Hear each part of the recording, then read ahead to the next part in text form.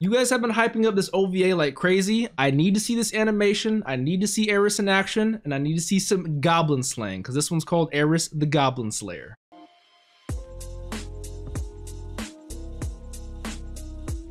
What's up, Dapper Squad? It's your boy Darius back at it again with Mushoku Tensei. It's more like a one-off video. I do want to let you guys know we are watching this live on Twitch right now for the first time. I am testing out reactions over there, so if you guys want to be one of those people who gets to watch this live uncut, the full length with me, make sure you guys go tune in to the live, twitch.tv slash dapperdarius. As you can see, we have some follows popping up right now. But this OVA that I'm going to be watching, I've been told takes place between episodes 16 and 17, right when Rudy comes back and finds Paul and they get into their little spat and you guys know how controversial and how gray area I got with that. I I got a lot of comments hating on me. I got a lot of comments agreeing with me. That's how I want it to be, you know, with anything that's controversial in real life. That's what I love about Mushoku. It's so real. The characters are so real that I disagree with what some may do. You guys agree with some may do. That's the that's the good thing about having discourse. We can have this debate. But I'm excited to get in this episode. I'm not gonna waste any more time. I gotta find out what happens. I say we hop right on into it. I'm excited. Don't forget if you guys want early access and full length to this show and all the other shows I'm watching, check out that Patreon. Links down in the description down below. Like always, four episodes ahead. Make sure to subscribe, click that bell so you guys always know when I post over here on the Dapper channel. Follow all the social medias, Instagram, Twitch, TikTok, Twitter. Make sure that Twitch too, because we're we're watching this live. All that Dapper Darius. Much appreciated. Let's hop right on into this. Mushoku Tensei OVA. It says season one, episode 24, so I almost said this, but Eris, the Goblin Slayer. Speaking of, when's Goblin Slayer coming back? I need some Goblin Slayer season two. Let's do this. I love when shows who have a set animation style will differ from that and have something super creative like this. Like, I get such Deathly Hallow Harry Potter vibes from this when they were giving that little quick story you know, it's explaining the Deathly Hallows and they cut over to that beautiful animation. Like, whose backstory is this? Someone was born, their parents were brutally murdered, no context as to why. I love that reflection of how it goes into the water, into the castle. So this child who was taken in by the, taken in by this rich, noble royal family, something along those lines, is now being treated. Why does he? He liked the attention he was getting. I love how everything is so saturated and colored except for the silhouettes, which are pure black and white. No, no information or context to that. Okay. Seeing food in, in anime always makes you want to watch Shokugeki no Soma. Look at this. Like, that looks delectable. So they're off doing this, they're day to day. Meanwhile, Rudy was doing his thing. Oh my god.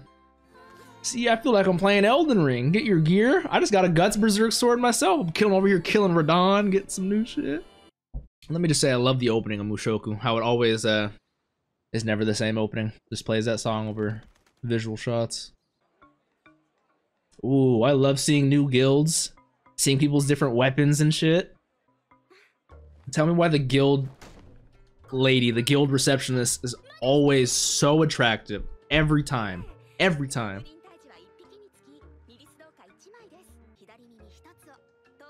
Okay. I mean, it makes sense, but it's a little fucking weird. Reminds me of The Walking Dead when Daryl had a necklace of zombie ears. I just see a shorter kid with a, a staff like that. I instantly think of the opening we just got. Uh, is this him? He seems kind of confident.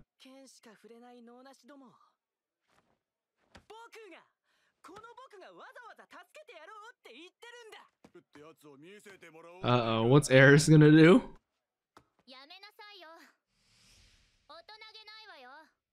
I like how she has the confidence to be able to, you know, step in and stop this. Not that Rudy doesn't, but I just, I don't think Rudy would have done this, you know?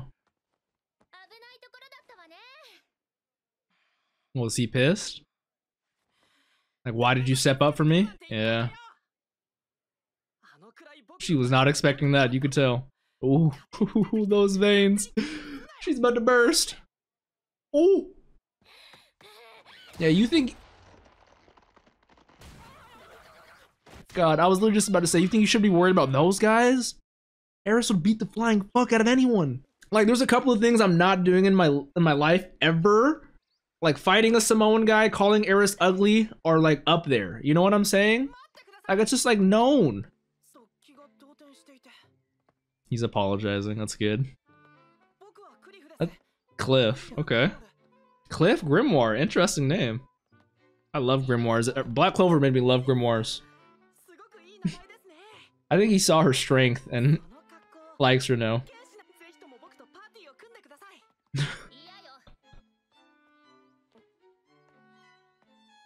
that is too funny.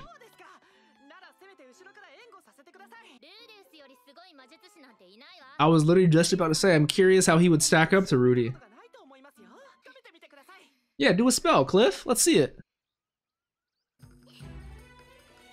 I like these designs for the goblins. I like how they're different. They're not uniform.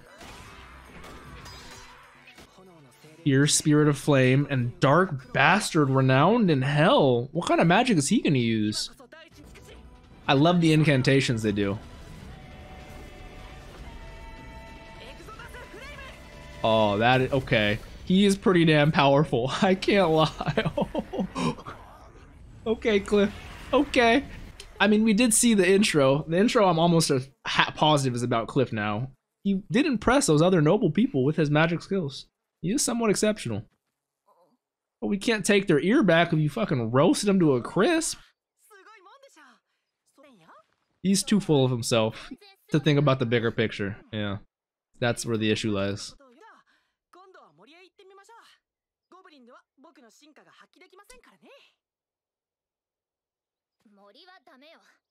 Why not?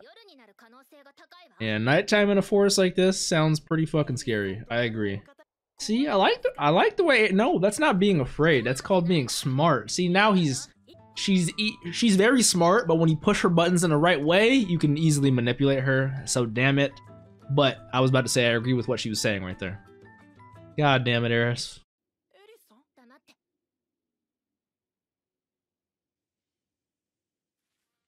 Ooh, I love the focus. We can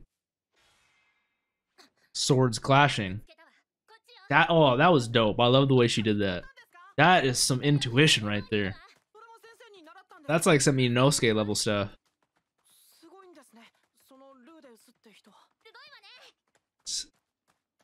They did a good. They were smart with coming out with this OVA because I want season two even more right now. Temple Knights.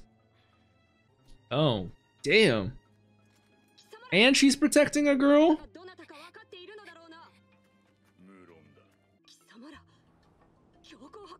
So, you serve the Pope. Hmm. Really? That blessed child could be the next. That's so fucked up. You gotta do it. Fuck it.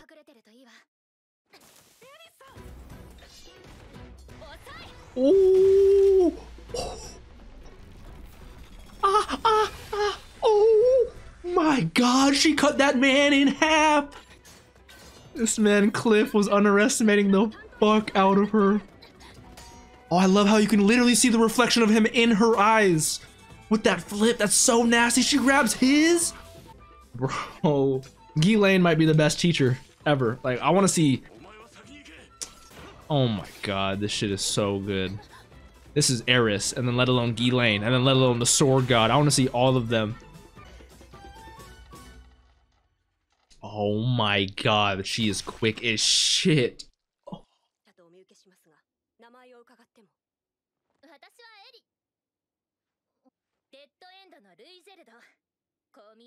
See, that's why I fuck with Eris. She's smart. That's Rudy's plan the whole time.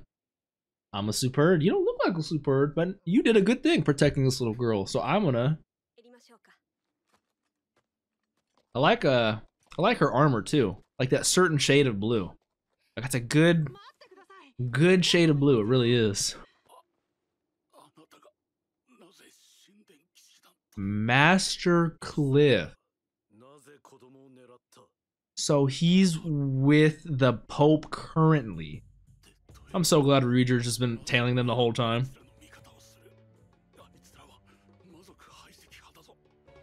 Okay, so this is a little bit bigger than I thought it would be. So the current pope is cool with demons, supposedly, but we know that they're taxing demons more than other people. So is that the current pope's regimen, or is that new pope and new legislation being passed in? I'm curious because Ruijerd seemed genuinely a little bit concerned about Cliff right there. Like, hmm, this guy's with them. You know, is this going to be bad? Is going to be good? What is it?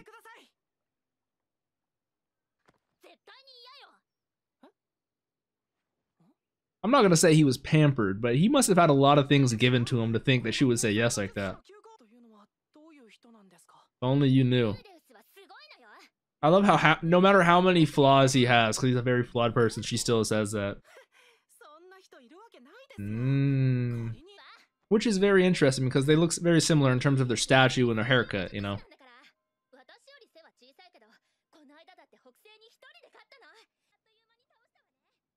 Why is it all muted up? Is he that upset that he's... I mean, at least he genuinely does. His, his infatuation with her is genuine. I appreciate that. Like, Eris as an adult, I could totally see anyone falling for her, you know? Like, she's that type of tsundere type girl, you know, super strong, confident, independent, willing to do whatever is needed, willing to help her, you know. She's, she's, she's a, she's a S tier, S tier character for sure. But he is hearing how she was talking about Rudy, picturing them together, and he knows he really stands no chance. So he's uh See, that's what I love. He's following her the whole time, and she had no idea. Tell me why they could set this up like a whole little arc. Like this could have been a little whole arc. Similar to how Pax, that whole Shirone arc, you know, with Rudy, that could have been another like three episode little thing. Now the pieces are really starting to be put together. How she walks in all happy, cheery like that, and Rudy's had one of the worst days he's had in a very long time with Paul, you know. The storytelling in this is super well done, you know. Very well done. See, I prefer characters that will see someone like Rudy that want that has what they want and get motivation from him. Extra episode like that's the end? Wait, whoa.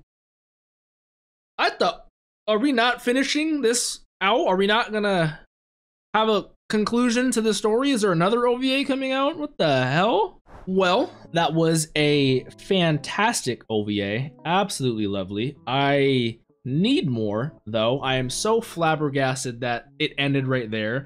Now, I'm assuming we might get answers to what's going to happen or what's going on in season two. But my only question is season two takes place chronologically much later than this. So, and Eris, you know, already has her haircut, all this, that, and the other at the end. So I'm like, and that's going to be a story in and of itself. Eris, you know, like season two is already going to be a whole bunch, but this seemed like a like, like I was saying in the episode, this is setting up like another arc, as if like we were in Shirone talking to Pax and Zanoba again, and like.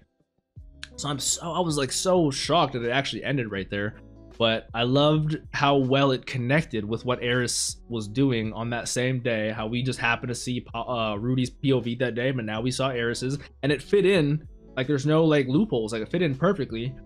And with what she was doing and how she was making money, wanted to do for the group, spreading the good name of Ruijerd. I appreciate all that and I respect it. I'm just I just want more. That's the only that's the only downside I would say, which isn't a downside in and of itself, because you can't I can't blame anyone but myself for that. But animation, oh my god, when Eris was going in with the sword, the first guy, I was like, okay, she's going in, she's going in, she's going in, and then it went clean through. I was like, there's no way. She chopped a dude in half at the waist. Like that's that's what I've been wanting Asta to do for so long. Obviously, it's not going to get that dark. I get it, but I wanted that. So I love. I don't know why. Game of Thrones made me love seeing. Nah, that sounds so dark. I'm not going to say that, but fantastic OVA, fantastic animation. I love seeing the Mushoku opening again. Just fantastic setup shots with their classic soundtrack in the background. It was so interesting, unique, and good and bad at the same time not seeing Rudy throughout like the entire episode, but I really enjoyed Cliff as a character and the du- duality and the dichotomy he has. Um, if you guys heard that, my phone just had a little alarm, but um, fantastic OVA. I need more. Hopefully you guys enjoyed. If you did, please leave a like. Let me know your thoughts down below. Don't forget to subscribe, click that bell. Don't forget to come over on Twitch if you guys want to watch this live with us. I would next time I might have chat open next time so they can tell you how much you guys need to come over here on Twitch. But uh, other than that, have a great day. Don't forget to drink some water. Tell someone you love them. Uh, have a great day, Dapper Squad. Peace out, y'all.